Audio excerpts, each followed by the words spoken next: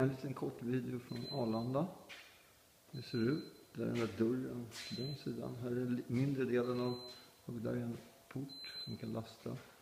Här är en dörr där borta. Här är en port.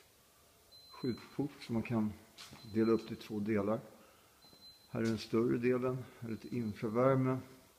Där är en elcentral till, så det är två olika elcentraler. Här är en lastbilsport. Här är hela den här större hallen. Gott om lysrör, bra ljus. Där är port nummer två. Där är personalingången. Så går vi ut och tittar utifrån hur det ser ut. Det är ett rätt lugnt in, in område. Det bor folk här i närheten så att man har rätt bra bevakning så att det inte händer något dumt. En container som vi ska ta bort.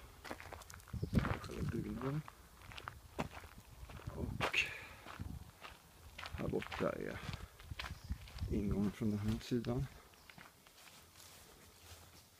Här har vi ingången, här är sidan av huset. Man kan säkert få hyra vinden också om man vill det. När man ska göra jobbet.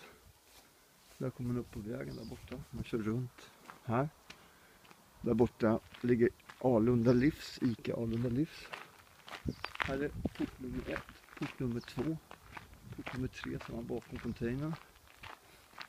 Lite fält. Här ligger en liten damm. Och så ska vi kika här runt hörnet. Där. Här, där är toaletten för övrigt. I det där lilla röda huset där är toaletten. Varmt och kallt vatten. Här är ingången från här.